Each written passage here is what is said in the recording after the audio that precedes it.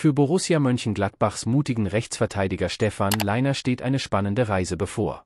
Nach einem Kampf gegen den Krebs lehnte Leiner einen Sicherheitsvertrag ab und wartete lieber auf seine triumphale Rückkehr auf das Feld. Die aktuelle Saison war für Stefan Leiner eine Herausforderung, da er aufgrund seiner Diagnose Lymphdrüsenkrebs vor knapp einem halben Jahr nicht an offiziellen Spielen für Borussia Mönchengladbach teilnehmen konnte. Seine Belastbarkeit und Entschlossenheit werden jedoch nicht nur seinen eigenen Weg, sondern auch seine Zukunft im Verein neu definieren. Kürzlich machte Leiner mit der Teilnahme an einem Freundschaftsspiel gegen Deventer einen wichtigen Schritt in Richtung seiner Rückkehr auf das Feld.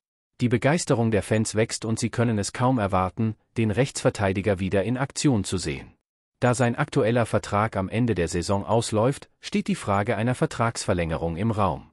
Laut Sportbildbericht bot Borussia Mönchengladbach Leiner kurz nach seiner Krebsdiagnose einen Sicherheitsvertrag an. Dieser Vertrag würde dem Spieler die Aussicht auf einen Verbleib im Verein über den Sommer hinaus garantieren, ein übliches Angebot in ähnlichen Fällen von anderen Spielern verschiedener Vereine. Ziel dieser Maßnahme ist es, Planungssicherheit zu schaffen und dem Spieler in einer herausfordernden Zeit Vertrauen zum Ausdruck zu bringen. Überraschenderweise lehnte Leiner dieses Angebot jedoch im Gespräch mit Sportdirektor Roland Wirkus ab.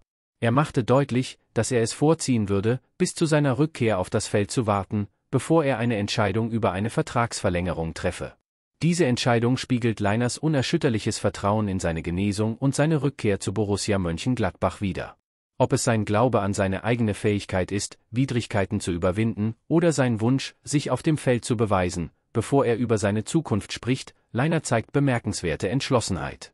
Wenn er in der zweiten Saisonhälfte wieder spielen kann, wird der Rechtsverteidiger mit einer stärkeren Verhandlungsposition in die Verhandlungen gehen, ein echter Beweis für seine Widerstandsfähigkeit. Wie stehen Sie zu Stefan Leiners Entscheidung, den Sicherheitsvertrag abzulehnen und seine Rückkehr auf das Spielfeld abzuwarten, bevor er über eine Vertragsverlängerung spricht.